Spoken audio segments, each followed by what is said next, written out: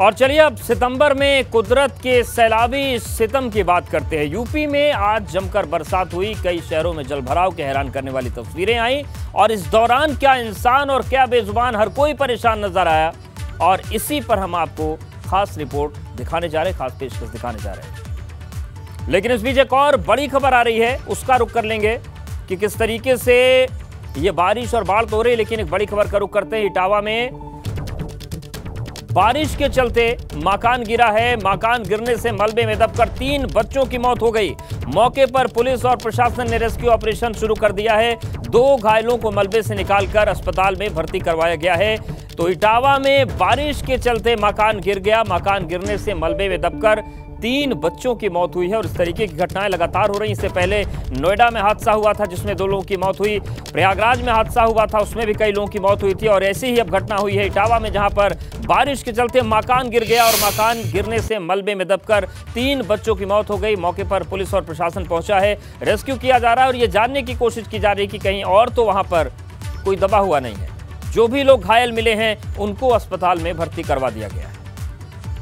तो देखिए, दो तस्वीरें हम आपको दिखा रहे हैं घटनास्थल की, जहाँ पर भारी भीड़ नज़र आएगी लोगों की, और आप देखिए दूसरी तस्वीर रेस्क्यू ऑपरेशन की, क्योंकि इस तरीके के जो हादसे होते हैं, केवल पुलिस और प्रशासन के बस के नहीं होते हैं, जो पुलिसकर्मी हैं, उनके साथ ही साथ स्थानीय लोग, आसपास के लोग भी मदद कर रहे हैं इस रेस्क्यू में, मलबे को हटाने में, ताकि जल्द से जल्द फंसे हुए लोगों को बाहर निकाला जा सके। और मोहम्मद फारिक हमारे साथ जुड़ गए फारिक ये बताइए कि अभी वहाँ पर क्या स्थिति है और आ, क्या रेस्क्यू चल रहा है या खत्म हो गया है? देश बता दूँ, ये दोपहर में जब ये हादसा हुआ तो उसके बाद जितने भी घायल लोग थे, वहाँ से रेस्क्यू करके लोगों को जिला अस्पताल पहुँचाया गया, जहाँ बड़ी बेहद दुखद घटना हुई शहर में। एक बार फिर से तीन बच्चों की मौत हो जाती है। बाकी जो घायल है, उनको उपचार चल रहा है। रेस्क्यू पूरी तरह से अभी समाप्त हो गया है और जो आसपास के लोग हैं, वहाँ से लोगों को खाली करा करके उनको सुरक्षित जगह पर भेज दिया गया है। जी।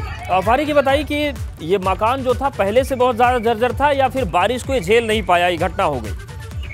नहीं ये पहले से जर्जर था कच्चा मकान था या किराए में जो आरिफ रह रहा था उसने बताया कि किराए के मकान में रह रहे थे। बरसात से पहले से वो बराबर मकान मालिक से कह रहा था कि इसको ठीक कराया जाए लेकिन उसको लेकर के कोई व्यवस्था नहीं की जाती है। मकान मालिक की तरफ़ से एक पॉलिथीन दे दी जाती है छत पर डालने के लिए।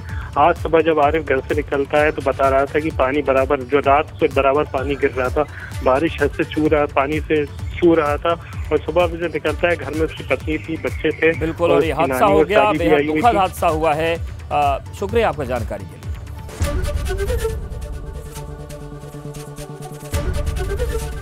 एबीपी गंगा खबर आपकी जुबा आपकी।